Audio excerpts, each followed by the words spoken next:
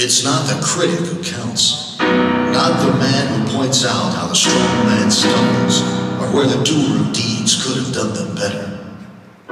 The credit belongs to the man who was actually in the arena, whose face is marred by dust and sweat and blood.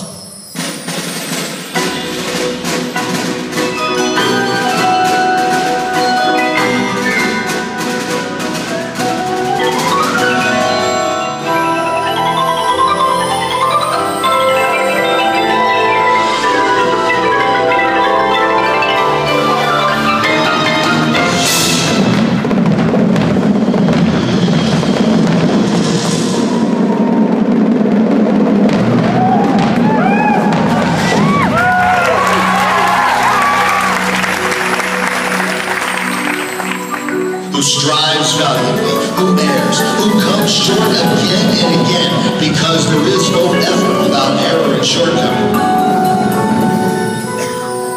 But who does actually strive to do the deeds, who knows great enthusiasms, the great devotions, who spends himself in a worthy cause,